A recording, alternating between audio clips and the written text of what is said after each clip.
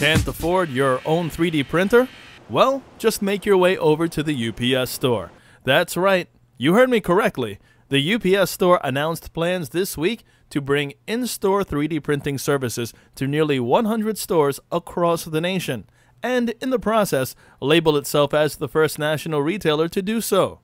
With the UPS system, customers can submit their own designs for objects like product prototypes, engineering parts, and architectural models that are then printed on a professional quality 3D printer made by Stratasys.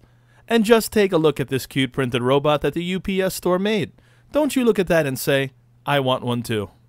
It generally takes about 4 or 5 hours to print a simple object, with more complex items taking one day or more.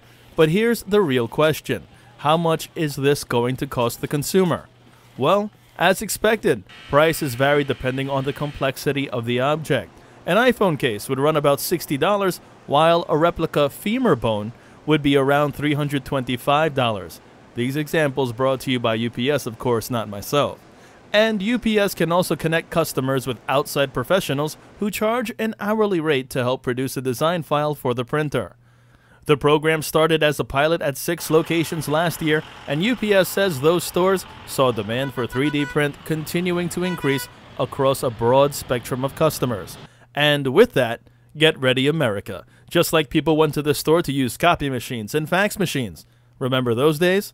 3D printing?